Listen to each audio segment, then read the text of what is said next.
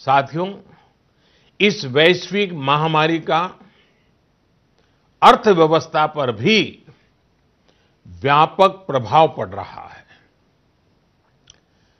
Corona महामारी से उत्पन्न हो रही आर्थिक चुनौतियों को ध्यान में रखते हुए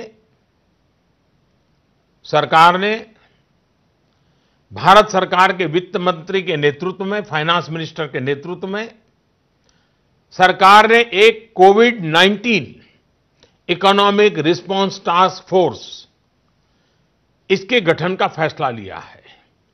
ये टास्क फोर्स सारे स्टेक होल्डर से नियमित संपर्क में रहते हुए, फीडबैक लेते हुए, हर परिस्थिति का आकलन करते हुए निकट भविष्य में फैसले लेगी।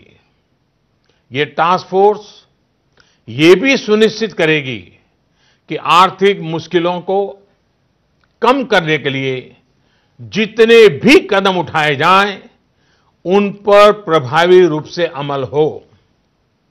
निश्चित तौर पर ये महामारी ने देश के मध्यम वर्ग, निम्न मध्यम वर्ग और गरीब के आर्थिक हितों को भी गहरी क्षति पहुँचा दी है।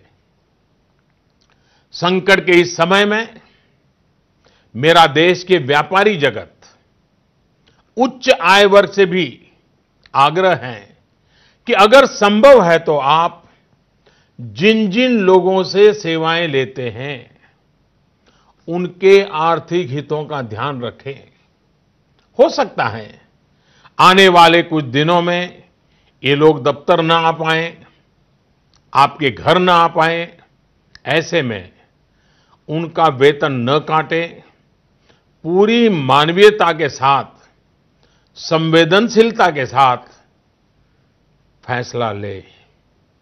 हमेशा याद रखिएगा, उन्हें भी अपना परिवार चलाना है, अपने परिवार को बीमारी से बचाना है।